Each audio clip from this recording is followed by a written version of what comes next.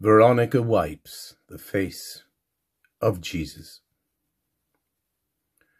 We adore you, Christ, and we praise you, because by your holy cross you have redeemed the world.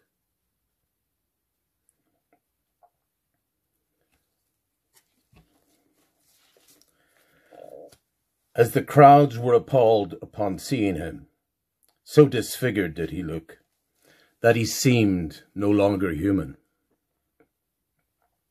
So will the crowds be astonished at him, and keen stand speechless before him.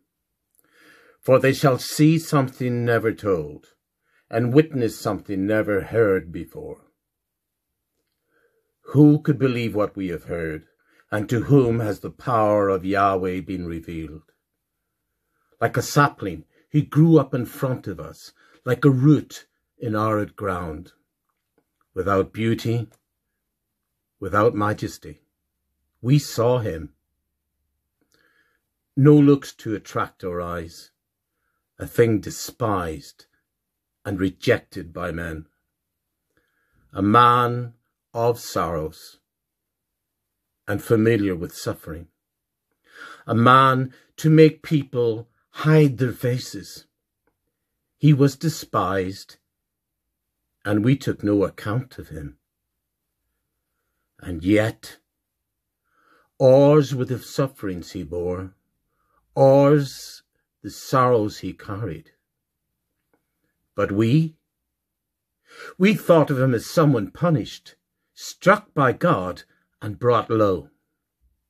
Yet he was pierced through for our faults, crushed for our sins.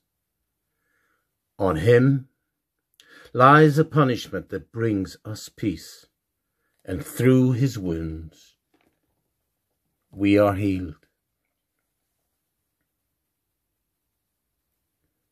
I love you, Jesus, my love above all things.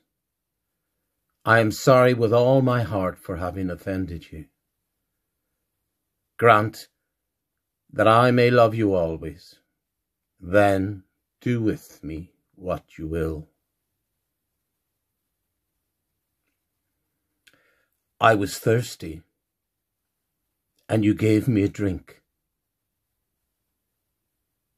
And the King will answer, I tell you solemnly, in so far as you did this to one of the least of these brothers of mine, you did it to me.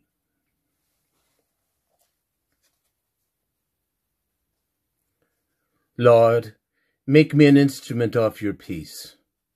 Where there is hatred, let me sow love. Where there is injury, let me sow pardon. Where there is discord, let me sow union. Where there is error, let me sow truth. Where there is doubt, let me sow faith. Where there is despair, let me sow hope. Where there is darkness, let me sow light. Where there is sadness, let me sow joy. O Divine Master, grant that I may not so much seek to be consoled as to console, to be understood as to understand, to be loved as to love. For it is in giving that we receive, it is in pardoning that we are pardoned, and that it is in dying that we are born to eternal life.